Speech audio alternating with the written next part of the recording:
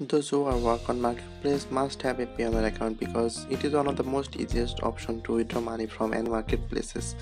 And for security reason, there are some lacking in Payoneer that Payoneer didn't have a two-step verification. But last month, Payoneer released their two-step verification. Basically, two-step verification is something that allow you to add a phone number when someone or yourself try to log in your account in new devices so in this video i will show you how you can set up the two-step verification on your Payoneer account.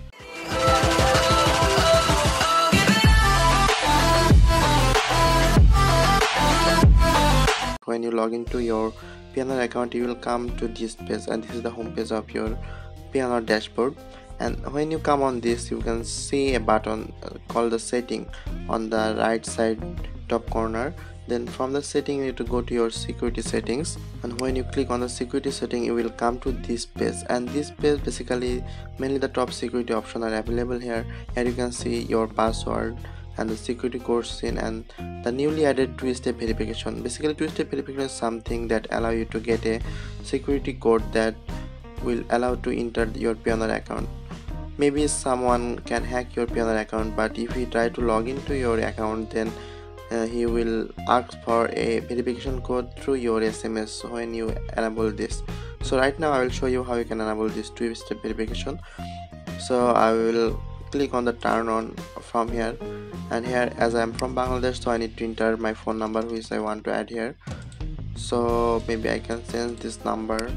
So I give a new number. So this is my number. Now I'll click on turn on so when I click on turn on you can see they are asking for a code. And this is the two-step verification code that uh, will verify your phone number that actually you on this phone number. Now I will check my phone. So I'm entering the code now here. And now I click on the verify. So now it will show you a recovery code. So this is very important because uh, if you forget your phone number or if you lost your phone and you don't have access to your sim card then this code will help you to recover your account without a code.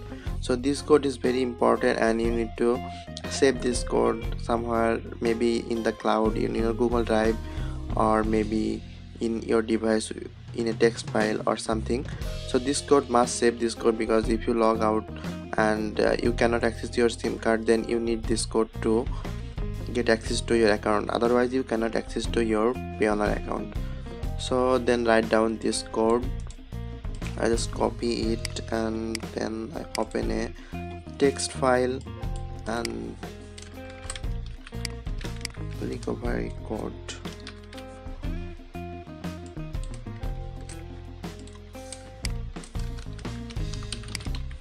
And then I just write the code and then I save this file.